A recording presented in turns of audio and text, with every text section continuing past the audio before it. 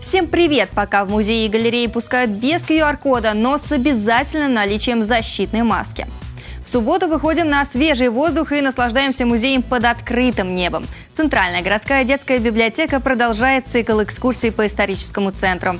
В эту субботу в центре внимания будет нынешняя улица Ленинградская и ее вклад в развитие торгового дела в Старой Самаре.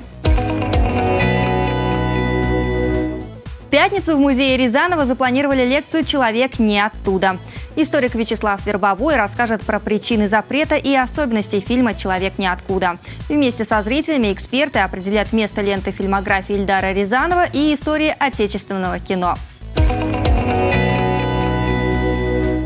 Кажется, осенью всем нам нужно немножечко вдохновения, порцию эстетического наслаждения, а вместе с тем и встречу с долгожданной музой можно будет получить в музее Алабина в это воскресенье.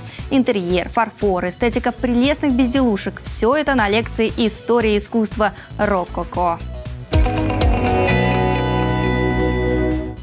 Как сохранить психическое здоровье – второй по актуальности вопрос для унылой поры. Секрет откроют в литературном музее на выставке «Зачем читать чужие дневники в воскресенье».